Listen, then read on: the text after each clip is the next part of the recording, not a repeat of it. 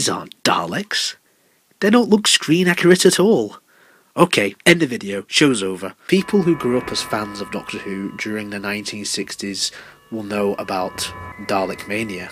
Now, Daleks were one of the biggest icons of the 1960s, and for good reason. They were actually a threat for one thing. But seriously though, these buggers were everywhere, so it was inevitable that the powers at the BBC would cash in on the bug eyed monsters. There were board games like Dodge the Daleks, the Dalek Oracle, the Dalek shooting game, all of which are dated by today's standards. People love playing these video games these days like Fortnite. Oh, look, Daleks even turned up in that at one point. What a twist! Back then, though, these board games must have been a godsend for the children. Not sure what parents thought of these, though. I'd love to hear if anyone still has these. Dalek Oracle fetches for around 350 quid on the second hand market these days. I've got money. There was even Dalek's Great Escape. Apparently, this was hard to play back in 1966.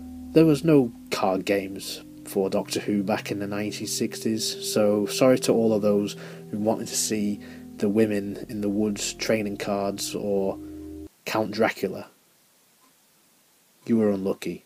One item which is considered as the holy grail of Doctor Who items is the Dalek costume from 1964, released just in time for the first ever broadcast of the Daleks' invasion of Earth. If you got this, you was the coolest. I envy you. I do wonder if anyone still has one of those. Now, for those of you who have been long-time viewers of my channel, then I could not sign off without talking about the action figures from this era. As seen in my joke at the beginning, Louis Marx produced the Dalek toys to capitalise on the Dalek craze of the 60s. It was battery operated and you could pretend that you were exterminating anyone who stood in its way, and it was radio controlled.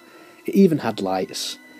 While the shape of it is not screen accurate, you know what it is, and for a 1960s toy, this would have been awesome to have. Perhaps one day I might invest in one of these. After all, they technically did appear as props in stories like The Power of the Daleks. The merch I have shown are just some classic examples of how big Dalek Mania really was. Remember, UK TV audiences only had three TV channels. There was no internet, no Doctor Who magazine of any kind, no Twitter, no social media.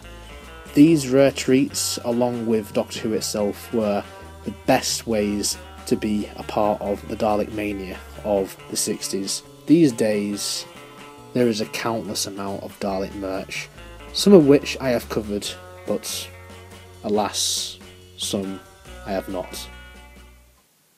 So when Dapol made glitter Daleks,